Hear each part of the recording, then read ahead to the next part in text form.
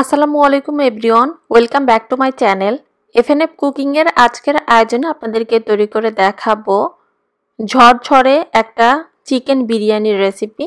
বিরিয়ানি আমরা কম বেশি সবাই তৈরি করতে পারলেও যারা নতুন আছেন, প্রয়োজনীয় টিপস সহকারে আজকের এই রেসিপিটি আমি শেয়ার করেছি। আসলে আমি যে পদ্ধতিতে বাড়িতে চিকেন বিরিয়ানিটা রান্না করি, হুবহু আমার রেসিপিটি আজকের পর্বে আপনাদেরকে তৈরি করে দেখাবো। আর এই পদ্ধতিতে আসলে বিরিয়ানিটা রান্না করলে এটা অনেক বেশি ঝরঝরে হয় এবং খেতেও অনেক বেশি মজার হয়। রেসিপিটি ফলো করে আপনারা বাড়িতে একবারের জন্য হলেও এটা ট্রাই করে দেখতে পারেন। আশা করছি আপনাদের কাছে ভালো লাগবে। যদি রেসিপিটি ভালো লাগে তাহলে প্লিজ ভিডিওটি আপনারা আপনাদের ফ্রেন্ডস অ্যান্ড ফ্যামিলির সঙ্গে শেয়ার করতে পারেন। তাহলে চলুন ঝটপট দেখে নেওয়া যাক আজকের এই মজাদার চিকেন বিরিয়ানির রেসিপিটি চিকেন বিরিয়ানি রান্না করে নেওয়ার জন্য এখানে আটশো গ্রাম মুরগির মাংস নিয়েছি। মাংসটাকে প্রথমে ভালোভাবে পানিতে ধুয়ে পরিষ্কার করে নেওয়ার পর একদম পানি ঝরিয়ে নিতে হবে। যেহেতু মাংসটা কিছুটা সময়ের জন্য মশলায় মেখে মেরিনেট করে রাখব।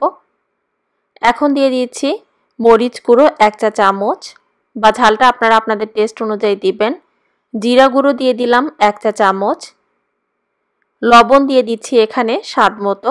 জয়ফল এবং জয়ত্রী গুঁড়ো এখানে দিয়ে দিচ্ছি ওয়ান ফোর চা চামচ করে। আর জয়ফল, জয়ত্রী গুঁড়ো কিন্তু একটু কম করে দিতে হবে, যেহেতু এর একটা স্ট্রং ফ্লেভার থাকে। আদা রসুনের পেস্ট দিয়ে দিচ্ছি এখানে দুই টেবিল চামচ। তারপর দিয়ে দিচ্ছি এখানে টমেটো সস এক চা চামচ। টক দই দিয়ে দিলাম এখানে ওয়ান ফোর্থ কাপ। তারপর দিয়ে দিচ্ছি ভাজা পেঁয়াজ মানে পেঁয়াজের বেরেস্তা, প্রায় ওয়ান ফোর্থ কাপ। পেঁয়াজের বেরেস্তাটা দিয়ে দেওয়ার পর এখন সমস্ত উপকরণ হাত দিয়ে খুব ভালোভাবে মুরগির মাংসটা মশলায় মেখে নিতে হবে।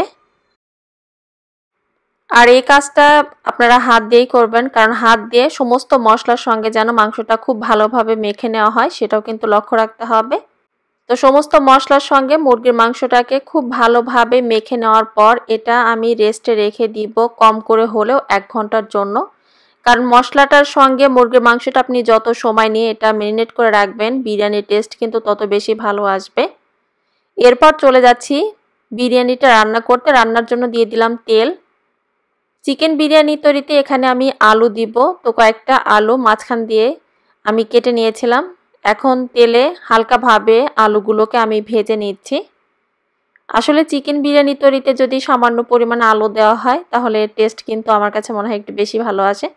তবে এটা কিন্তু টোটালি অপশনাল আপনারা যদি আলু না দিতে চান, হুবহু কিন্তু আলু ছাড়াও এখানে রান্নাটা করা যাবে। তো আলুটাকে এখানে হালকাভাবে ভেজে নেওয়ার পর এখন এটা তুলে নিয়ে এলাম। তারপর দিয়ে দিলাম এখানে হাফ কাপ পেঁয়াজ কুচি। পেঁয়াজ কুচিটা দিয়ে দেওয়ার পর এখন একটু ভেজে নিয়েছি। আর চুলা রাসটা এখানে মিডিয়াম থেকে বাড়ানো আছে। পেঁয়াজটাকে কিন্তু এখানে খুব বেশি ভেজে পুড়িয়ে ফেলা যাবে না। মানে একটু হালকা কালার করে এটা ভেজে নিতে হবে। তো পেঁয়াজটা আমার ভাজা হয়ে গিয়েছে, এখন এতে দিয়ে দিচ্ছি আস্ত গরম মশলা। গরম মশলার মধ্যে এখানে আছে তেজপাতা, এলাচ, দারুচিনি, লং এবং গোলমরিচ। তারপর দিয়ে দিলাম এখানে হাফ চা চামচ শাহি জিরা। এরপর এখন এই পেঁয়াজের সঙ্গে গরম মশলা এবং জিরাটা প্রায় 30 থেকে চল্লিশ সেকেন্ডের মতো একটু ভেজে নিয়েছি এই পর্যায়ে দেখবেন যে গরম মশলার খুব সুন্দর একটা ফ্লেভার চলে আসবে।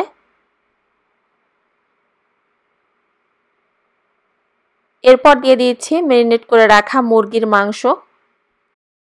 মুরগির মাংসটা দিয়ে দেওয়ার পর একটু ভেজে নিচ্ছি সব কিছু একত্রে মিশিয়ে নিয়ে। পেঁয়াজটার সঙ্গে মুরগির মাংসটা কিছুক্ষণ নেড়ে চেড়ে ভেজে নেওয়ার পর এখন একটা ঢাকনা দিয়ে ঢেকে আমি কিছুটা সময়টা রান্না করে নিয়েছি আর চুলার আঁচটা এই পর্যায়ে মিডিয়াম থেকে সামান্য পরিমাণে কমিয়ে এটা রান্না করতে হবে। কিছুক্ষণ এটা ঢাকনা দিয়ে ঢেকে রান্না করার একটা পর্যায়ে দেখবেন যে মুরগির মাংস থেকে বেশ খানিকটা পানি উঠবে আর সেই পানিতেই কিন্তু মুরগির মাংসটা এখানে ভালোভাবে সেদ্ধ হয়ে যাবে। এই মাংস রান্নাতে এখানে বাড়তি আমি কোনো পানি দিব না। যদি আপনারা ব্রয়লার মুরগি ছাড়া দেশি মুরগি দিয়ে এখানে বিরিয়ানিটা রান্না করেন, সেক্ষেত্রে আপনারা চাইলে আপনাদের প্রয়োজন অনুযায়ী মানে মুরগির মাংসটা সেদ্ধ হওয়ার জন্য পানি দিতে পারেন। চুলার আঁচটা কমিয়ে একটু ঢাকনা দিয়ে ঢেকে এখানে মাংসটাকে বেশ কিছুক্ষণ সময় নিয়ে ভালোভাবে কষিয়ে রান্না করে নেওয়ার পর এখন দিয়ে দিচ্ছি আগে থেকে যে আলুটা ভেজে রেখেছিলাম সেই আলুটা। আলুটা দিয়ে দেওয়ার পর এখন মুরগির মাংসটার সঙ্গে আবারও ভালোভাবে একটু নেড়ে চেড়ে মিশিয়ে ঢাকনা দিয়ে ঢেকে এটা আমি রান্না করে নিয়েছি। তো এখানে যেহেতু আমার সামান্য পরিমাণ গ্রেভি লাগবে মুরগির মাংসটা আমার এখানে মোটামুটি সেদ্ধ হলেও আলুটা সেদ্ধ হওয়ার জন্য। সেই জন্য আমি আসলে এখানে সামান্য পরিমাণে পানি দিলাম। খুব বেশি পানি কিন্তু এখানে আমি দেইনি।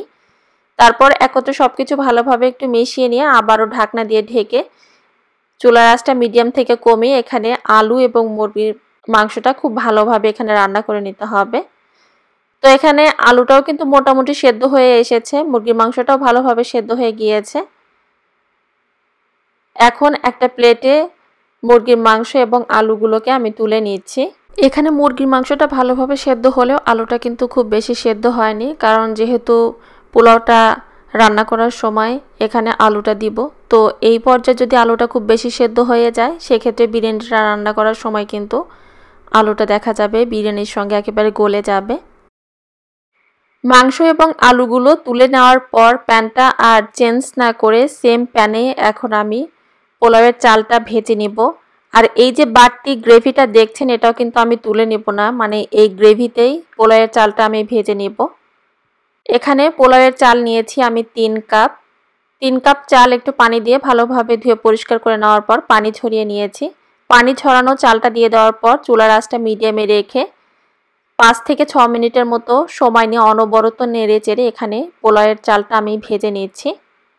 আমার কাছে মনে হয় বিরিয়ানির তৈরিতে চালটা আলাদাভাবে না ভেজে মুরগির মাংস এবং আলুগুলো রান্না করে নেওয়ার পর সামান্য গ্রেভিতে যদি এভাবে চালটা ভেজে নেওয়া যায়, তাহলে এর টেস্টটাও বেশি ভালো আসে এবং ঝামেলাটাও কম হয়। পাঁচ ছ মিনিট নেড়ে চেড়ে পোলাওয়ের চালটা ভেজে নেওয়ার পর এখন দিয়ে দিচ্ছি গরম পানি, ছয় কাপ। মানে যে কাপ দিয়ে মেপে এখানে তিন কাপ চাল দিয়েছি, সেম কাপ দিয়ে মেপে এখানে ছ কাপ পানি আমি দিলাম। আর ঠান্ডা পানি না দিয়ে চেষ্টা করবেন এখানে গরম পানিটাই দিতে। পানিটা দিয়ে দেওয়ার পর একটু মিশিয়ে নেওয়ার পর যে আলুটা রান্না করে রেখেছিলাম, সেই আলুটা দিয়ে দিলাম। তারপর দিয়ে দিচ্ছি এখানে চালের জন্য সামান্য পরিমাণে লবণ। যেহেতু মুরগির মাংস রান্নাতে লবণ দেওয়া আছে, সেক্ষেত্রে বুঝে কিন্তু এখানে লবণটা দিতে হবে। লবণটা দিয়ে দেওয়ার পর একটু নেড়েচেড়ে মিশিয়ে নিয়ে এখন একটা ঢাকনা দিয়ে ঢেকে চুলার আঁচটা মিডিয়াম থেকে বাড়িয়ে প্রায় দশ মিনিটের মতো এখানে আমি রান্না করে নিব। মাঝখানে একবার ঢাকনাটা খুলে একটু নেড়ে চেড়ে দিতে হবে, যেন পুড়ে না যায়। কিছুক্ষণ ঢাকনা দিয়ে ঢেকে এটা রান্না করে নেওয়ার পর এখন দিয়ে দিচ্ছি রান্না করে রাখা মুরগির মাংস। আর মুরগির মাংসটা এখানে মানে বিরিয়ানিতে যখন একটু পানি থাকবে মানে বলক চলে আসবে, সেই পর্যায়ে দিতে হবে। একেবারে পোলাওটা রান্না হয়ে যাওয়ার পর এখানে মুরগির মাংসটা দিবেন না। তো মুরগির মাংসটা দিয়ে দেওয়ার পর একটু নেড়েচেড়ে মিশিয়ে নিয়ে আবারও ঢাকনা দিয়ে ঢেকে দিলাম। আর এই পর্যায়ে চুলার আঁচটা মিডিয়াম থেকে সামান্য পরিমাণে কমানো আছে। চুলার আঁচটা মিডিয়াম থেকে সামান্য পরিমাণ কমিয়ে আরও দশ মিনিট এটা রান্না করে নিয়েছি। দশ মিনিট পর ঢাকনাটা খুলে সমস্ত উপকরণ একটু আলতোভাবে আমি নেড়ে চেড়ে মিশিয়ে নিয়েছি। এখনও কিন্তু রান্নাটা আমার হয়নি। মানে চালটা কিন্তু এখনও পুরোপুরি সেদ্ধ হয়নি। আবারও ঢাকনা দিয়ে এটা আমি ঢেকে দিলাম এবং এই পর্যায়ে চুলার আঁচটা লো থেকে সামান্য পরিমাণে বাড়িয়ে দিয়েছি। চুলার আঁচটা লো থেকে সামান্য পরিমাণ বাড়িয়ে আরও দশ মিনিট এটা আমি ঢাকনা দিয়ে ঢেকে রান্না করে নিয়েছি। আর এখন চালটা আমার খুব ভালোভাবে সেদ্ধ হয়ে গিয়েছে। এবং একটু লক্ষ্য করে দেখুন, বিরিয়ানিটা কিন্তু এখানে পুড়েও যায়নি। বিরিয়ানিটা একটু নেড়ে চেড়ে মিশিয়ে নেওয়ার পর এখন দিয়ে দিয়েছি এক টেবিল চামচ ঘি। শেষের দিকে চেষ্টা করবেন এখানে ঘিটা দিতে, তাহলে এর ফ্লেভারটা খুব ভালো আসবে। কেওড়া জল দিয়ে দিলাম এখানে হাফ চা চামচ। আপনারা চাইলে এখানে কেওড়া জল, গোলাপ জলও দিতে পারেন। তারপর দিয়ে দিলাম এখানে কয়েকটা কাঁচা মরিচ, খুব সুন্দর একটা ফ্লেভারের জন্য এখানে দিয়েছি। কিছু দিয়ে দিলাম কিশমিশ। তারপর দিয়ে দিচ্ছি এখানে পেঁয়াজ বেরেস্তা, তারপর আবারও ঢাকনা দিয়ে ঢেকে এটা আমি দমে রেখে দিব কিছুক্ষণ। তো বিরিয়ানিটা আমার হয়ে গিয়েছে।